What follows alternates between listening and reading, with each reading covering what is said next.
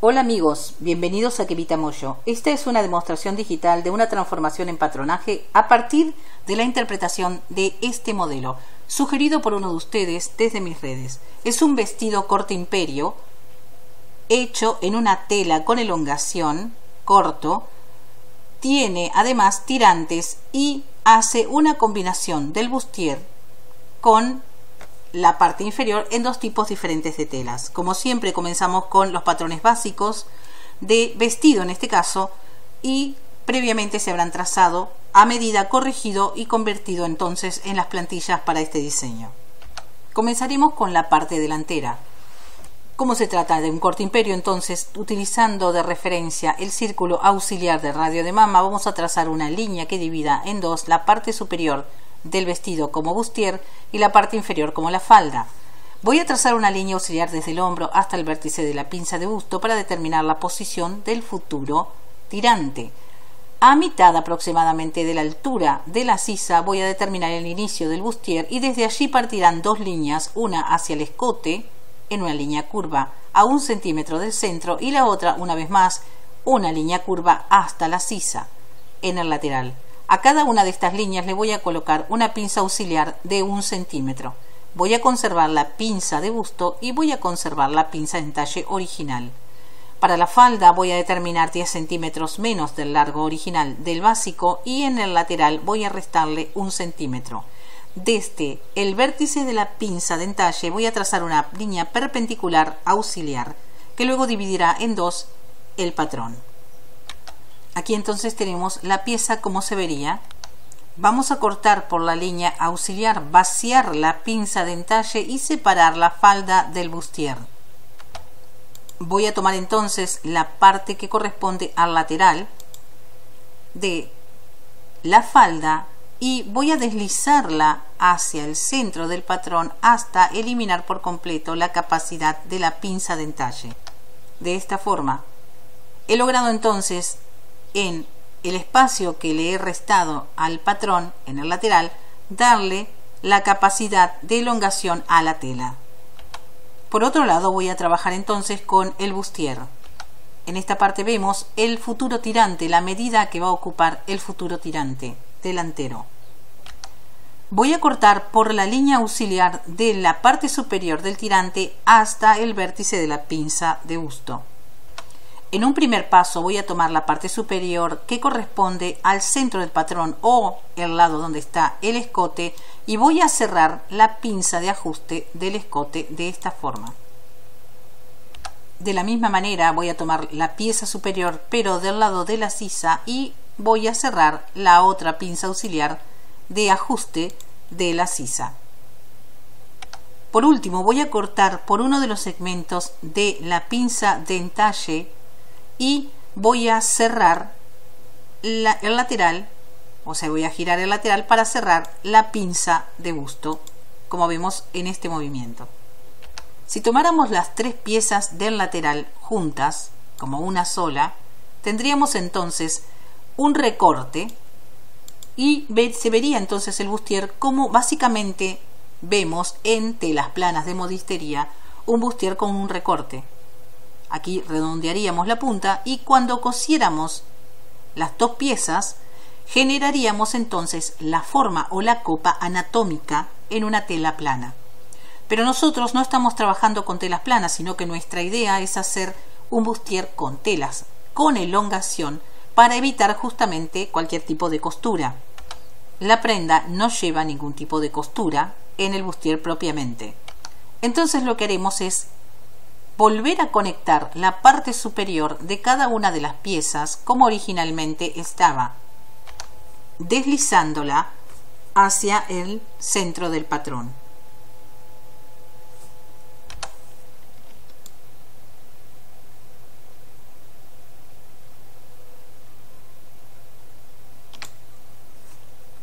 Se vería entonces de esta manera. Si observamos el patrón base por debajo, de la transformación. Vamos a ver que en el lateral se ha restado una cantidad de tela, lo mismo que en el bustier, que entonces se lo vamos a adjudicar a la elongación. Pero además en un acercamiento, al cerrar el patrón de esta forma, he logrado que se achique considerablemente.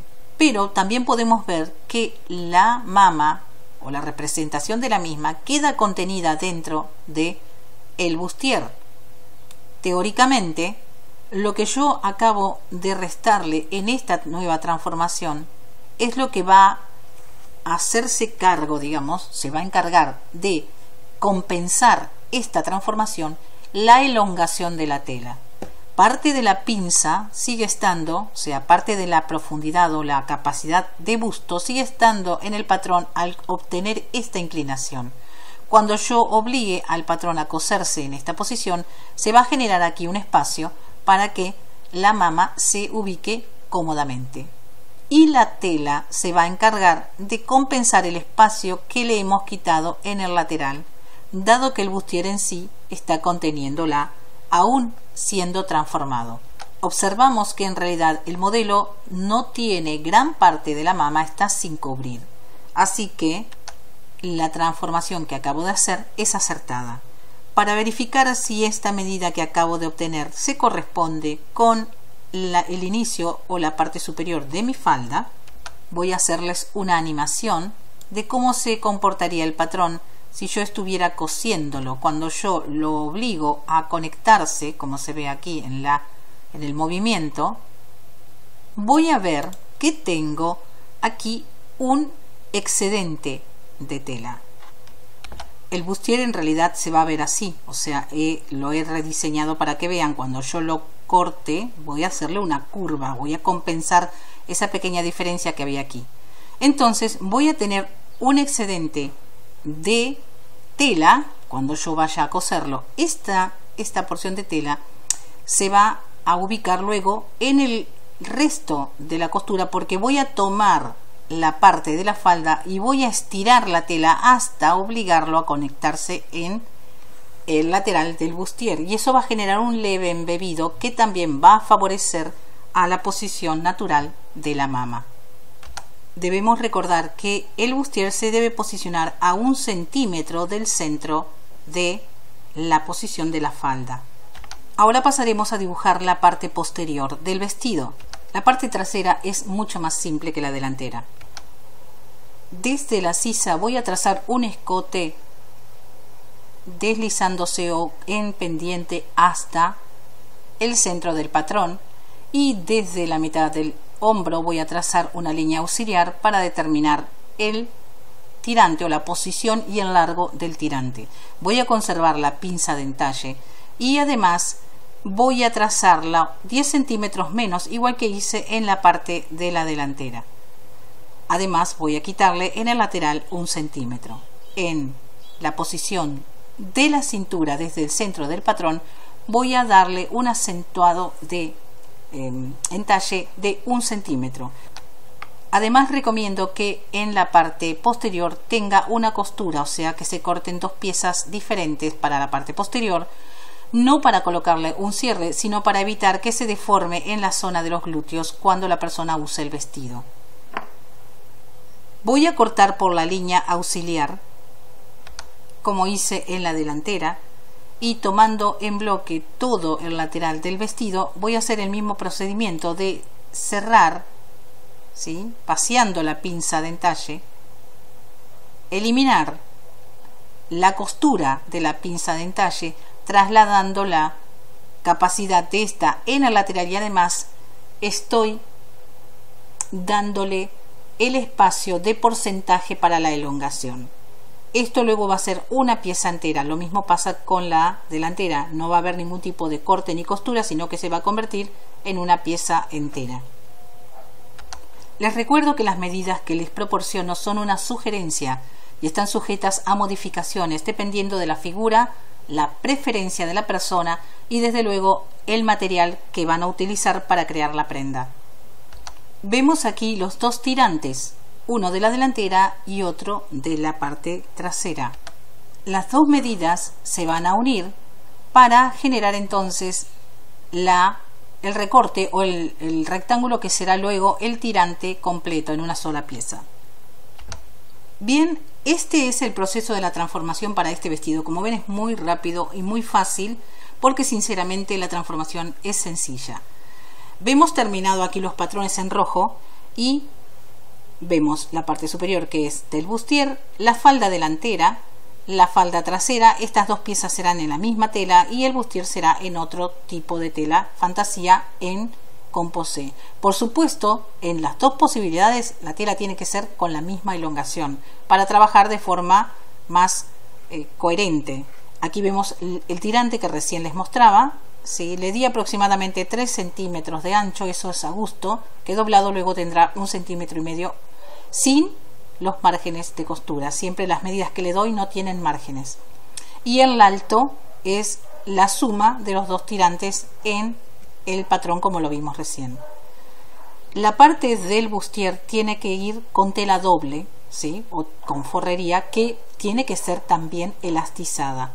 Si desean también pueden poner relleno en esta parte.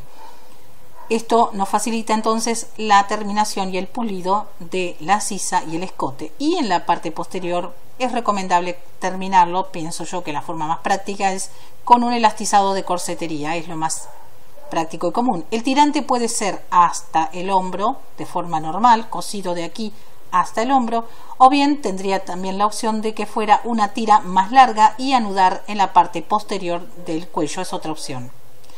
Si yo a este patrón lo cortara, voy a poner una línea auxiliar de referencia, en esta zona, en la cintura, cortara y dividiera el patrón en dos partes, tendría entonces la posibilidad de hacer un top con un conjunto, o sea, con la falda aparte. Tengo entonces dos patrones más. Si yo cortara solamente la parte posterior, o sea, la parte del vestido en la trasera aquí, en la parte trasera, solo la trasera, tendría la posibilidad de hacer un bra o un traje de baño, top o traje de baño en la parte superior de un traje de baño, haciendo la copa, tal cual como está la parte delantera del bustier, y parte de la espalda, como vemos aquí. Si se tratara de un bra, sencillamente habría que elastizar tanto la sisa con la espalda y el cuello o el escote y luego elastizar en conjunto todo en una sola, sola em, acción la parte inferior. Recomiendo que coloquen el patrón de esta forma, con esta separación, que no lo inclinen. ¿Por qué? Porque de esta forma compenso la separación que hay aquí. Entonces obligo a las dos copas a juntarse o superponerse y lo que me faltaba originalmente en el patrón lo estoy dejando en el entalle del lateral. Este tipo de bra sería una prenda simple, sin ningún tipo de costura. En, el, en la espalda o en la parte central de la espalda recomiendo que se le reste, aquí lo ven este, representado, esta, este espacio es la mitad de lo que tendría el gancho que se coloca en la parte posterior en los bra, ¿sí? tanto para un brasier como para un traje de baño. Para un traje de baño en realidad se tiene que acortar dos veces por cada mitad porque va con forrería, una forrería tan elastizada como la tela que utilicemos y de la misma manera que el vestido se puede colocar una tira sin coser el tirante en la espalda, una tira que se ate en la parte posterior del cuello de la persona. Este tipo de brasier que no tiene ningún tipo de costura y no tiene ningún tipo de armazón que sostenga el busto, es una prenda informal, o sea, no es muy recomendable estar mucho tiempo con este tipo de prenda porque la verdad es muy suelta, va a quedar muy floja pero para un momento, para estar un momento en la piscina o un rato en casa para estar cómodos, puede ser, es ideal. Es una prenda muy rápida de hacer, muy económica porque lleva muy poca tela. Antes de terminar el video quiero recordarles que ustedes tienen que verificar de colocar colocar de esta forma los patrones haciendo coincidir los laterales imaginando que esto está cosido y verificar que los laterales, tanto de la delantera con la parte posterior, coinciden. Esta forma que vemos aquí se genera porque obviamente no está colocado como corresponde el bra. Esto va a estar, perdón, el bustier, esto va a estar en posición correcta, ¿sí? Pero nosotros tengo que verificar que esta distancia sea la misma que el recorrido del lateral de la parte posterior. Este tipo de prenda es muy fácil de hacer, tanto en la transformación que en realidad vimos esta nueva forma de evitar la costura de las pinzas, pero es una transformación muy simple de comprender y de realizar y es una prenda con tan poca tela que en realidad en una tarde podrían tener su vestido.